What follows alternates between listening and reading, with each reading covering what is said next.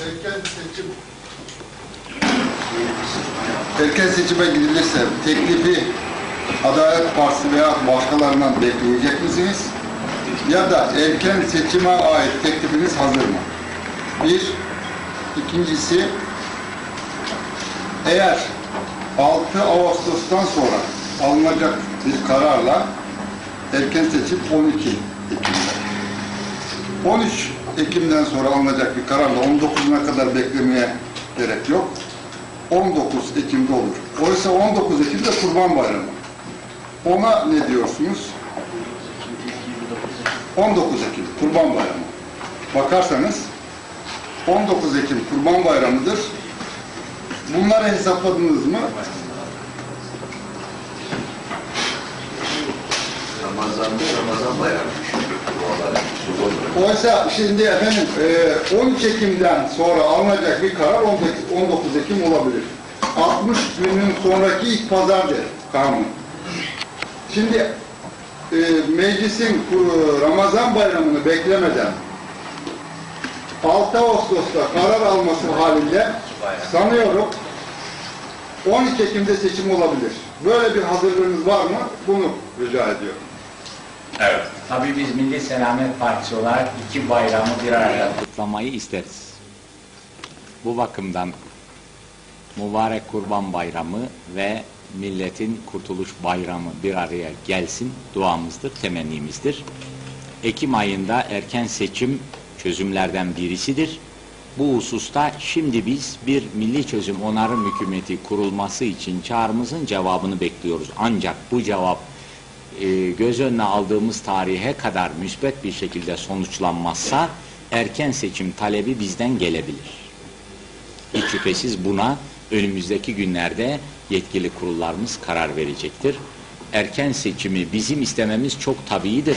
Bir sözü daha hatırlatmak istiyorum. 77 seçiminde ağır sanayi durdurmak için milli selameti millet tanımasın diye Clifford'un gelip ziyaretiyle seçim erkeni alınırken bir söz söylemiştik aşağıda. Etmeyin, eylemeyin. Şimdi köylü tarladayken müteahhitler fabrikalara giderken bu kararı almayın. Ama bilesiniz ki bundan sonraki erken seçimi biz isteyeceğiz o zaman siz kaçacaksınız demiştik. Bu aşağıdaki zabıtlarda var. Şimdi tarih bizi bu noktaya getirdi. Bundan emin olunuz. Erken seçimi milli selamet isteyecek yeter ki onlar kaçmasın. Buyurun. Üzerlerinde, e, Bir tanesi e, bu 19 Ağustos'a kadar Milli Çözüm ve Onarım Hükümeti kurulmazsa bu hükümette bir seçim emniyeti sağlanabilecek midir? E, Ve siz bu seçim sonuçlarının sağlıklı seçim sonucu olabileceğine inanıyor musunuz? İkinci sorum ise bu e, Faslı olaylarıyla ilgili hocam. E, Biliyorsunuz İçişleri Bakanı e, son yaptığı açıklamada bazı kişilerin devlet güçlerine yardımcı olduğu yolundaki e, görüşlerini söyledi. Bu arada e, Fas'taki operasyonda ülkücü olarak bilinen kişilerin de e, polislere yardımcı olduğu ortaya çıktı ve bu kişilerden dört tanesi tutuklandı. Ayrıca e, Ordu valisi de gerektiğinde devletin bazı kadınları da e, kullanabileceğini, nitekim bunları da yaptığını söyledi. Siz e, Milli Selamet Partisi olarak bunları nasıl değerlendiriyorsunuz?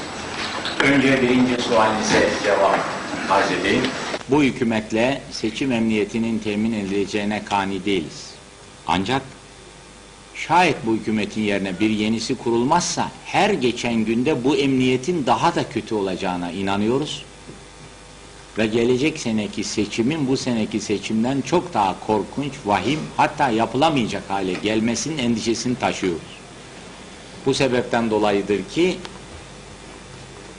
bunları dikkate alarak seçimin bu sene yapılmasında e, daha vahim bir akibetten korunmak bakımından e, yarar düşünülebilir mütalasındayız. Hiç şüphesiz ki erken seçim kararı alınırken seçim emniyetinin de teessüsü için her şeyi birlikte talep edeceğiz ve tesis edilmesi için elimizden gelen gayreti göstereceğiz.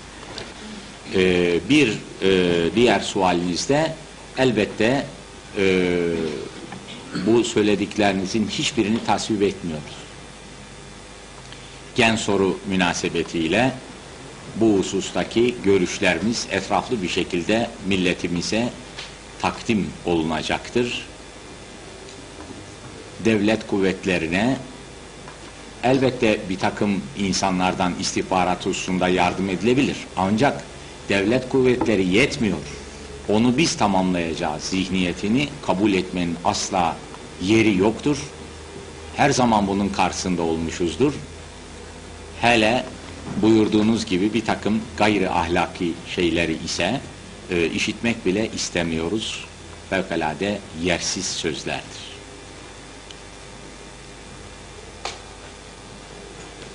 Buyurun. Efendim diğer soru görüşmelerinde görüşmelerinde Evet, e, diğer soru. Evet, onu kastederek söyledim. Ee, iş- Buyurun yani şunu ben biraz daha aşağıda konuşmak istiyorum. O gen soru gündeme geldiğinde e, Sayın Demirel kendi grubunda yaptığı konuşmada bunun e, eğer hükümet düşerse vebalin Nesibe'ye ait olacağını söylemişti. Şimdi e, eğer sizin CHP ile bir ortak hareketiniz meclisi açtırmak yönünde ya da e, bakanın düşürülmesi yolunda olursa bunu bu yönde bir yani baskı, tazik, Evet, tekrar ifade ediyorum ki biz serbestiz. Kimsenin baskı ve tazikini dinlemeyiz. Milletimize hizmeti en iyi yapmanın gereği neyse onu yerine getiririz. Evet, estağfurullah. Buyurun. Efendim, erken seçime niçin bu kadar bel bağlıyorsunuz? Meclis aritmetiğinde sizce ne değişecek? Milli selametin adedi artacak inşallah. Yeter mi? bunun e, bir milli çözüm hükümeti kurulması bakımından büyük kolay- kolaylık getireceğine inanıyoruz onun için. Erken seçimi bir çare olarak görüyoruz. Demin de söylediğim gibi aksi takdirde bu gerilmiş üçgen bir yerinden kopmazsa bir yerinden kopmazsa o takdirde her geçen gün daha vahim bir istikamete gidiyoruz. Daha büyük felaketten kaçınmak için daha küçüğüne razı olmak gerekiyor millet için. Burada bu seçimdeki emniyetsizliğin doğuracağı neticeleri ve felaketleri kastediyorum. Allah milletimizi korusun, muhafaza etsin. Bu durumda Cumhurbaşkanlığı seçimi erken seçim sonrasına mı kalmasını düşünüyorsunuz? Hayır, onu hiçbir zaman düşünmedik. Biz meclisin bir an evvel Cumhurbaşkanı seçmesini arzu ediyoruz. Ancak bildiğiniz gibi bugün için sandalye adedi daha fazla olan iki tane parti maalesef dört aya yaklaşan bir müddetten beri görevlerini layıkıyla yapamamışlardır. Adaylarını uzun süre koyamamışlardır. Kendi koydukları adayları üzerinde kendi üyelerinin oylarını toplayamamışlardır. Cumhurbaşkanı seçilmemesi bakımından e, manen sorumlu olan bu iki partidir. Bunlar görevlerini başaramıyorlar. Bir an evvel başarırlarsa bu iki parti dışındaki 100 tane oy milli çözüme inanan bir cumhurbaşkanı gördüğü zaman partizanlık gütmeden memleketin şu buhranını ortadan kaldırmaya hazırdır, amadedir. Bu 100 tane oyun en aşağı 70 tanesi daha kolaylıkla toplanıyor. Bu partilerin kendi 250 tane üyesi aynı kolaylıkla toplanamıyor. Bu da garip bir yapıdır. Buyurun.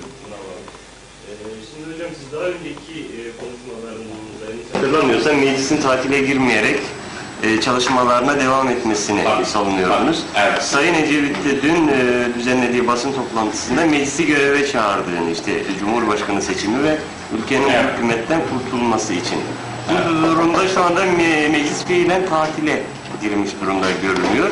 Siz meclisin yeniden toplanması için e, böyle bir gayretin içine girecek misiniz? Yaz aylarında çalıştırılması için. Biz meclisin bir tatil kararı yoktur. Her zaman Fiilen var. her zaman bu gayretin içindeyiz. Meclis 7 aydan beri Adalet Partisi'nin iştirak etmemesi dolayısıyla çalışmıyor. Bugün de durum aynıdır.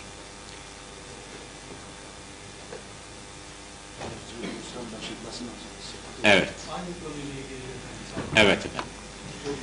Hepinize çok teşekkürler ederiz.